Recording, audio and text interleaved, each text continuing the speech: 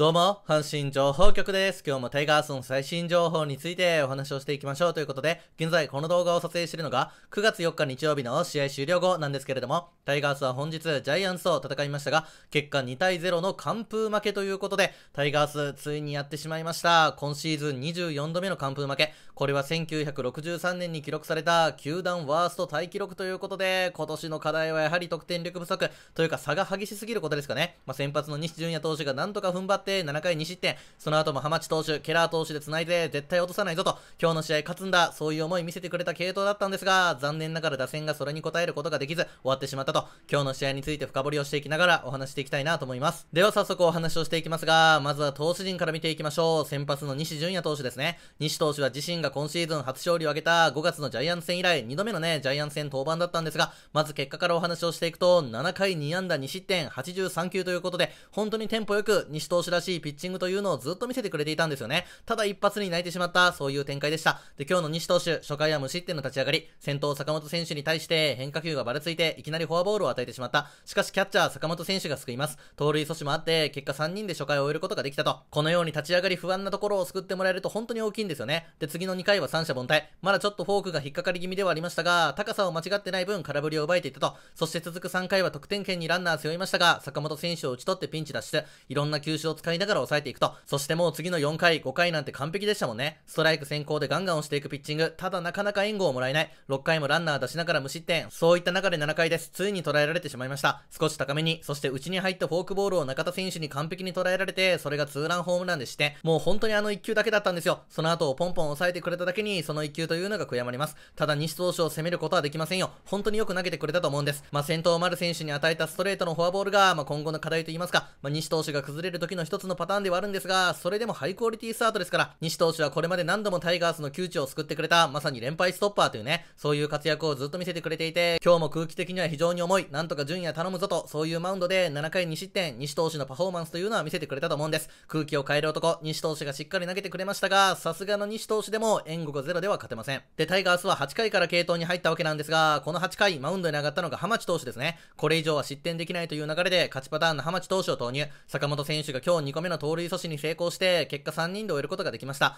浜地投手は変わらずずっとゼロを続けてくれてますね。絶対にゼロで次に繋ぐんだ。そういう姿を見せてくれたと。で、最後の9回、マウンドに上がったのがケラー投手でした。まあ、ケラー投手は先日、守護神再転向後、初めてのセーブ失敗がありましたよね。ですので、ここもゼロで行くということはもちろん、できるだけ早くケラー投手に自信をつけてもらう、そういう意図があったと思うんです。ちょっとここ最近三振を奪えてなかったんですが、今日はホームランを打ってる中田選手相手に最速156キロ、球速もしっかり出ていましたし、ストレートでしっかり押せていた、その中で2つの三振、セーブシチュエーションとビハインドではプレッシャーも違うと思いますが、まずはケラー投手のモヤモヤを晴らしてあげることが大事でしたからね。ですのでそれを考えると、今日のケラー投手はストレートで押すことができた、三振取れた、そしてゼロでいけた、これが大きかったと思います。ただ3投手の力投虚しく、完封負け、そういう形になってしまったんです。では続いて打線の方を見ていきますが、今日は全体で7安打無得点ということで、実はジャイアンツはヒット3本なんですよ。まあ、タイガースの方がヒット4本多いんですが、残念ながらこのチャンスを生かすことがなく終えてしまった、そういう流れですね。ではまずスタメンの方を見ていきましょう。1番ショート中野選手、2番サード糸原選手、3番センター近本選手、4番ライト佐藤選手、5番ファースト大山選手、6番レフトロハス選手、7番セカンド木浪選手、8番ピッチャー西純也投手、9番キャッチャー坂本選手ということで、昨日は島田選手を2番に入れて、6番にはマルテ選手のスタメン起用というね、そういう流れになったんですが、今日は右の赤星投手ということもあって、2番に糸原選手が入って、6番にロハス選手が入った。まあ、ここ最近続いてるスタメンという感じだったんですが、今日の先発赤星投手、なかなか打ち崩すことができなかったと。というのも今日の先発赤星投手、タイガース戦に関しては、今日の試合が始まる前の時点で、中継ぎも含め、計6試合で2勝0敗、防御率が1.50ということで、タイガースに対して非常に相性が良かったんです。で、一方、タイガース打線は、このルーキー赤星投手をなかなか打てていない。ただ今日のタイガース、この苦手な赤星投手から何とかチャンスは作ったんです。まず3回ですね。2アウトから中野選手がヒット、そして糸原選手がヒットを打って、2アウトランナー1塁3塁。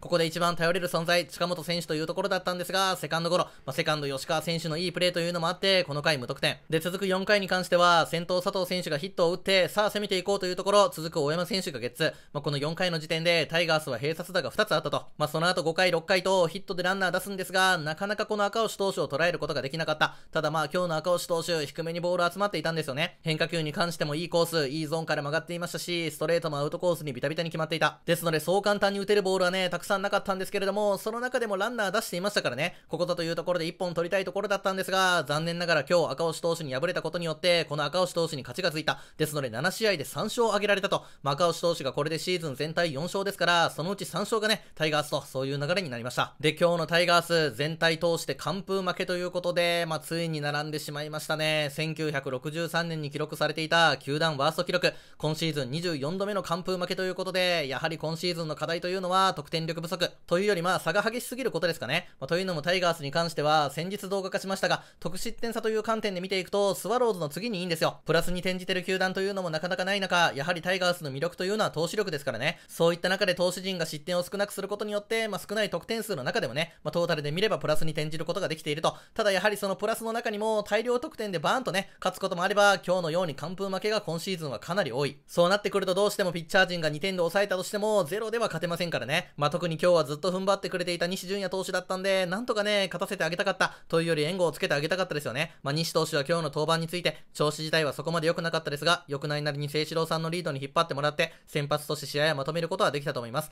ただ失点した場面は自分のフォアボールからなんで、展開的にも粘らないといけない場面でしたし、しっかりと反省して同じ失敗をしないようにしたいと思います。ということで、まあもちろんこの西投手のコメントにもある通り、フォアボールというのはね、まあ、しっかり反省ポイントといいますか、これから課題としていきたいところではあるんですが、まあ7回2失点ですからね、まあ、しかも西投手に関しては、今シーズン初めて、まあ1軍のローテに回ってるような形ですから、こういうピッチャーが投げるときはしっかり援護してあげたい、そういうところだったんですが、残念ながら打線は今日完封負け。しかも今日の試合というのは、甲子園でのジャイアンツ戦最後の試合だっただけにね、この伝統の一戦で完封負けというのは、やはりファンとしても答える部分があると。もう残り20試合を切っていますが、タイガースの課題というのはこの得点力、どのように伸ばしていくのかね、そしてバランスよく点を積み重ねていくのか、ここだと思いますんで、まあ、次回以降の試合というのも注目して見ていきたいなと思います。はい、ということで、以上が今日の試合内容についてなんですけれども、今日の試合前、入れ替えがありました。というのも昨日の試合振り返り動画でもお伝えしましたが、アルカンタラ投手がね、昨日打たれてしまったということで、矢野監督は抹消明言していた。その中で今日、このアルカンタラ投手が抹消になりました。アルカンタラ投手は今シーズン、ここまで39試合に登板して、1勝3敗17ホールド。で、防御率が4.70まで跳ね上がったんですね。まあ、特に昨日もね、このジャイアンツ戦に打たれてしまったんですが、アルカンタラ投手、このジャイアンツ戦は今シーズン、ここまで5試合に登板して、防御率が29.45ということで、まあ、かなり打ち込まれていたんですよ。まあ、ですので、このシーズン防御率4.70というのは、かなりこのジャイアンツ戦で打たれたということが反映されていますが、今シーズンここまでいろんな役割をこなしてきてくれたピッチャーですからね、まあ、守護神やったり、もともとはセットアッパーやったり、まあ、本来はね、先発やりたいと、そういう気持ちを持ってるピッチャーではあるんですが、ここまでいろんなポジションをこなしてくれた。そういった中で、このアルカンタラ投手が投げてきてくれた39試合というのは、非常に大きいものがあるんですが、まあ、それでもやはりこのシーズン最終盤、中継ぎ陣みんな踏ん張ってくれてますからね。で、昨日は新たに梶谷投手が上がってきましたし、まだ2軍には渡辺投手がいますから、まあ、このアルカンタラ投手に代わるね、選手というのは今日登録されていませんが、まあおそらく明日の月曜日、このアルカンタラ投手の抹消に加えて、もしかしたらまだ入れ替えというのはあるかもしれません。バッターで言うと糸井選手も触れていますし、まだまだ上げたい選手、中継ぎなら渡辺投手もいると。まあ明日以降の工事といいますか、これからの入れ替えというところもね、引き続き注目して見ていきたいなと思います。はい、ということで、今回の動画では、本日9月の4日に行われたジャイアンツとの試合についてお話をされていただきました。結果は2対0の完封負けということで、タイガースは球団ワースト記録に並ぶ今シーズン24度目の完封負け、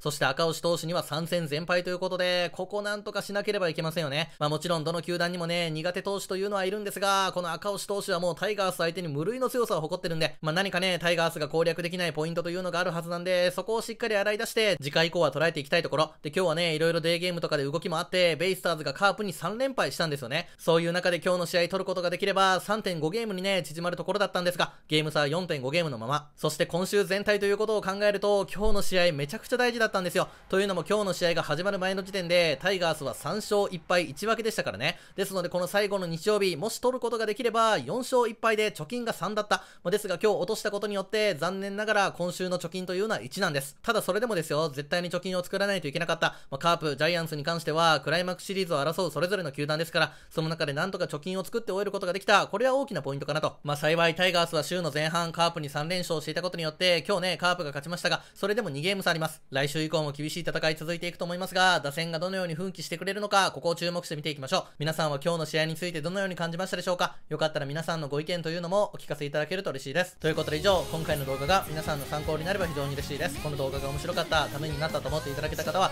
よかったらチャンネル登録、グッドボタン押していただけると嬉しいです。皆さんのおかげで、この阪神情報局、チャンネル登録者3万3300人突破、いつもありがとうございます。皆さんのご視聴、コメント、高評価、チャンネル登録が励みになってます。次は目指せチャンネル登録者3万4000人ということで今後とも阪神情報局何卒よろしくお願いいたします。ではまた次の動画でお会いいたしましょう。毎日トラホーありがとうございました。タイガースは今週なんとか貯金1で終えることができました。来週以降も負けられない戦い続きます。どんな戦いになるのか引き続き注目してみていきましょう。ではまた。